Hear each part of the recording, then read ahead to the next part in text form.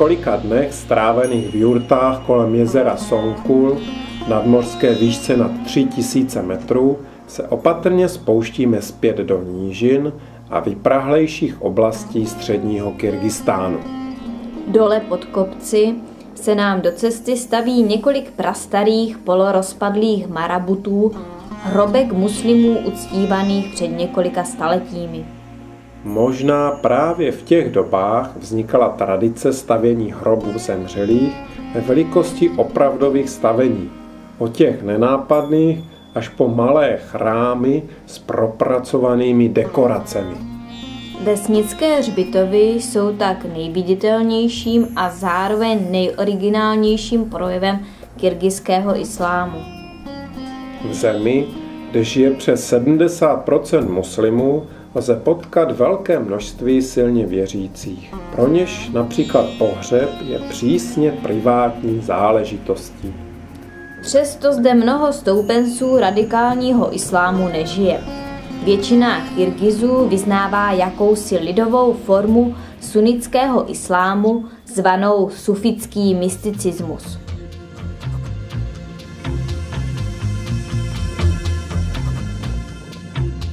Podnebí se v Kyrgyzstánu mezi jednotlivými regiony velmi liší. Zatímco v některých horských oblastech spadne ročně přes metr a půl srážek, jinde je to sotva desetina. Nesmíme zapomenout, že Kyrgyzstán je zemí, která má k moři ze všech států světa nejdále, takže suchozemské klíma převládá.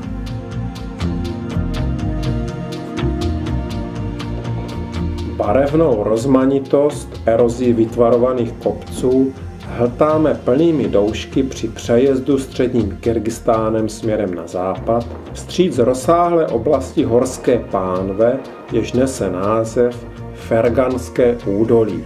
Nejde zdaleka o jedno údolí, nýbrž o horskou oblast s mnoha hřbety a planinami. Mezi nimiž si proráží cestu Narin, kyrgyzská řeka číslo jedna. Sbírá vody velké části hor Tianshanu, poté se prodírá na západ skrz celé území země až do Uzbekistánu, aby nakonec zmizela v řece Sirdaria v Aralském jezeře. Krajina lemující řeku Narin je velmi rozmanitá a neustále nás překvapuje dalšími úchvatnými scenériemi. Zatímco nás nejvíce fascinují pestrobarevné rozervané hřbety vyprahlých kopců, domorodce zase lákají ojedinělé uzavřené kaniony podél horských toků a zalesněná úbočí nad nimi. Jedním takovým místem je Salkin Tor – Avšak touha domorodců absorbovat krásy krajiny se projevuje poněkud odlišně, než bychom čekali. Touha místních je přeměnit nehostinnou divočinu místo příjemné pro piknikování, provádění rodinných oslav, žranic a veselic. Takže do přírody nakonec nikdo ani nevyrazí. Kam by také v kvádru chodili. Navíc v kotlích se vaří a peče beranina, ze samovarů se kouří, stoly se prohýbají pochutinami a vodka teče proudem. Cizokrajný turista je pro domorodce vítaným zpestřením a pokud nemá dobrý alkoholový trénink, je předem ztracen. Závěrem spustí kapela a idylka nádherného dne stráveného v přírodě bude dokonalá.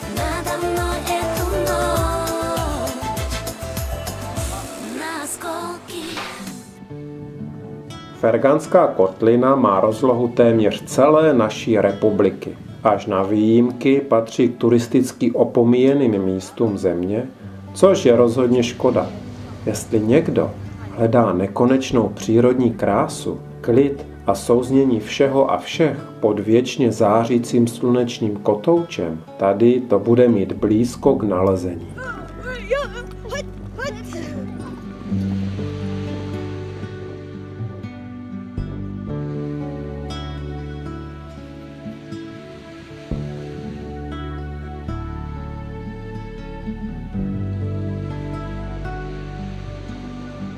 Jako pěst na oko působí v přírodním ráji Ferganské kotliny nevelké město Kazarmán.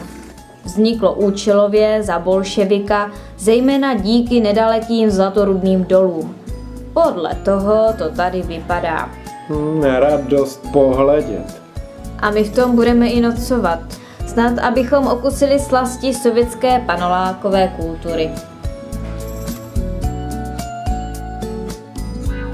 Zlatorudné doly se nacházejí 20 km jižně od města, poblíž horských hřbetů. Z nich ten nejzajímavější nese jméno Saimalu Taš, v překladu pomalované kameny. Po krkolomném výjezdu Gazikem vcházíme do divočiny stejnojmeného zapovědníka, čili Národního parku. Zapovědník po ruském stylu znamená, že vstup bez povolení je všem zapovězen a příroda se nechává svému osudu. Zácná květena má co dělat, aby si vydobila místo na slunci v záplavě bolševníků a kopři vyšších jako my.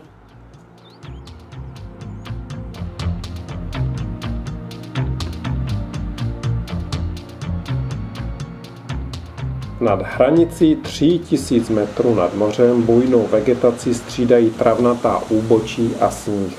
Právě tady, pod nejvyššími vrcholky, si pradávné civilizace doby železné a bronzové zbudovali svá kultovní místa. Trvale nebyly osídlené, naopak příslušníci pradávných civilizací namáhavě stoupali k vrcholkům, stejně jako my, aby ještě znásobili zbožnost ke svým uctívaným bohům při svých rituálech.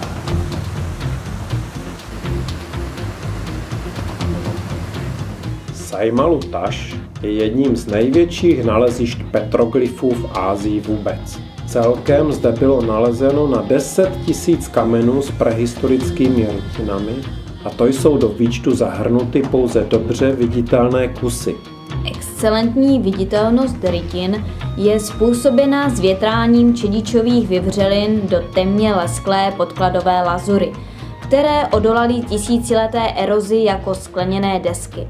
Pod tlustou vrstvou patiny se nachází velké množství dalších, dnes neviditelných kreseb. Rytiny jsou až centimetr hluboké a byly zhotovovány železnými a bronzovými nástroji. Podle motivu krezeb lze vystopovat jejich stáří.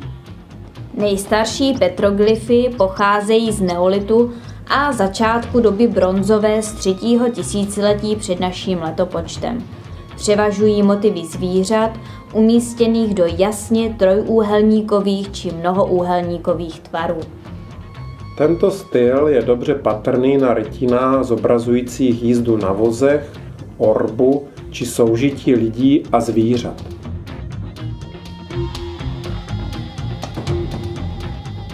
Mladší petroglyfy z doby železné ztrácejí jakoukoliv geometrizaci. Objevují se zejména obrazy lovců a jejich obětí, zejména kozorohu, a pak také domestikaci zvířat, například konňů.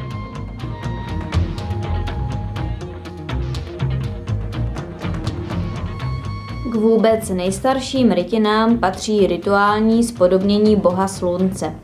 Uctívání přírodních bohů hrálo v dávných dobách prim nad dalšími nadpřirozenými silami a kult boha slunce patřil k vůbec nejúctívanějším figurám. A Saimalu Taš je jeho největší azijskou obrazárnou pod šírým nebem.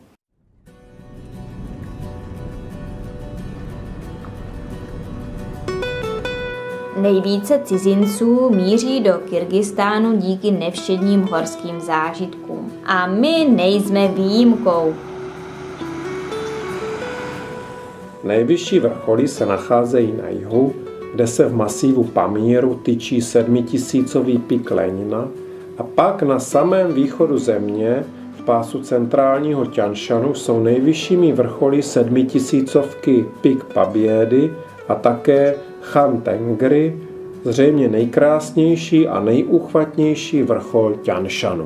A právě tyto vrcholy bychom chtěli vidět i my.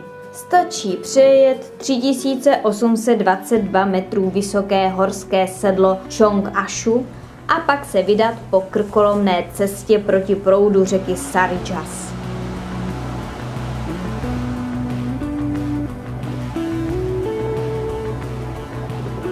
Kamenitá cesta je udržována díky pohraniční stanici v osadě Ečkili Taš. Umělý panák na stráži a pás betonových bunkrů číhá na domělého nepřítele, zřejmě z Kazachstánu, neboť odtud je to ke Kazachům, co by kamenem dohodil.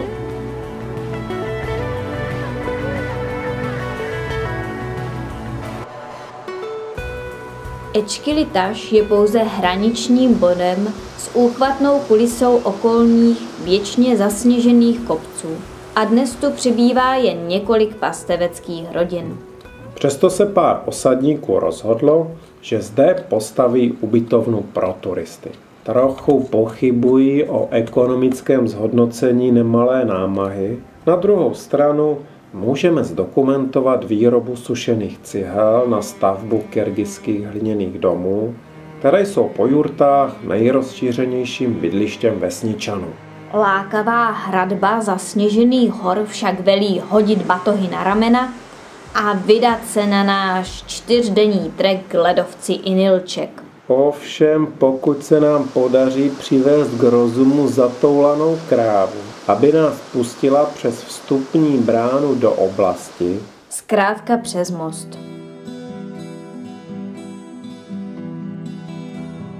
Následujících pár dnů budou našimi společníky jen ojedinělá stáda ovcí a konňů v doprovodu jejich pastevců. Vlající hřívy konňů navozují atmosféru nespoutané divočiny, kde doposud vládne matka příroda.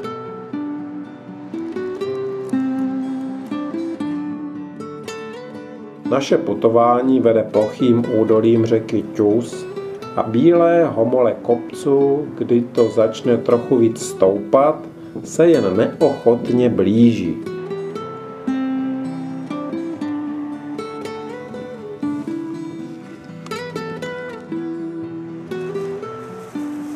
Noční déšť přinesl bílou nadílku až k úpatím okolních kopců.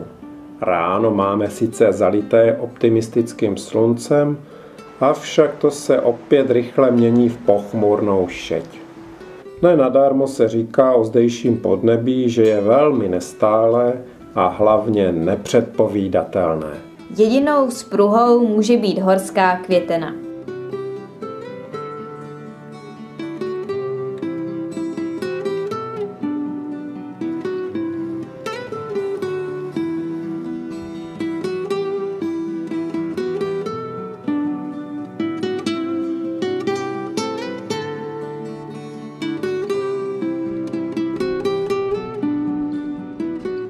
Dvoudenní pochod údolím řeky Tus zakončíme jeho broděním.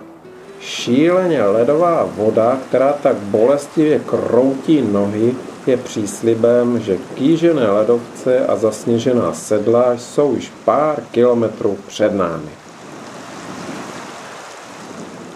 Na večer přece jen slunce vyčistilo oblohu aby nám okolní stráně mohli rozehrát své divadlo. A my můžeme doufat, že zítra, kdy chceme vystoupit na vyhlídkový vrchol nad ledovcem Inilček, dobré počasí vydrží.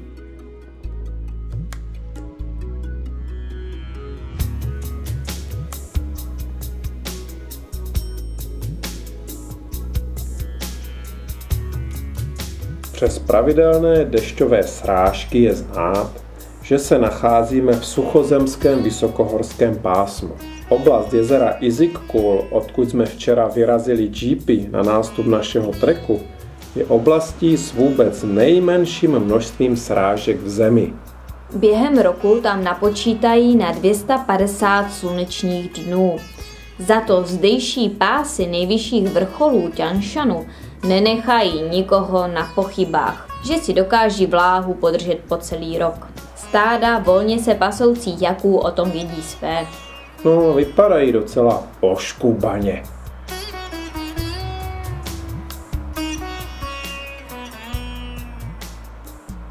Zasněžené čtyřtisícové sedlo Tus už máme na dohled. Poslední část našeho výstupu začíná.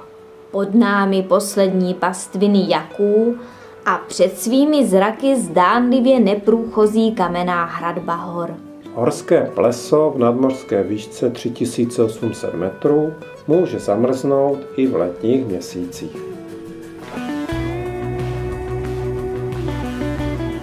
A jsme v sedle o dalších 200 metrů výše. Pod námi hnědé údolí, neboli konec ledovcového splazu ledovce Inilček, který již pokryli nánosy kamení a bláta, a za ním již hlavní horský pás Tianshanu, který tvoří hranici s Čínou.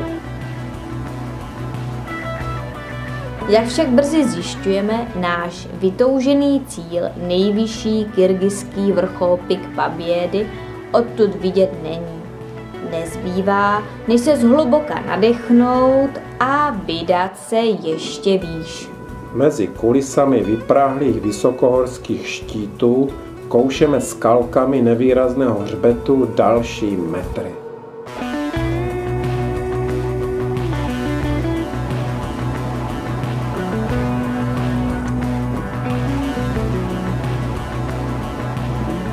Vrchol 4200 metrů nemá jméno.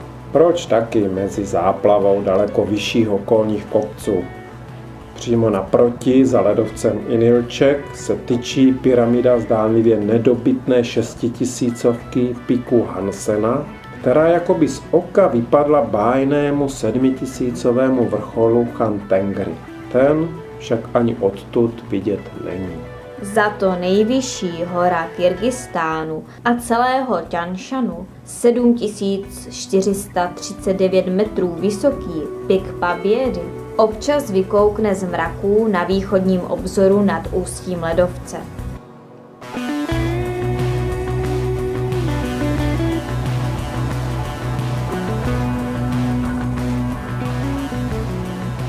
Postupně se všichni scházíme na vrcholu s pocitem, že naše horská putování v intencích našich časových a finančních možností dopadla dobře. A tak cesta GP zpět už nám zdaleka nepřišla tak adrenalinová, i když řidiči si zase mysleli své. My jsme zase přesvědčeni, že jestli ještě někdy do Kyrgyzstánu, tak jedině do hor. Vždyť o tom ten Kyrgyzstán je.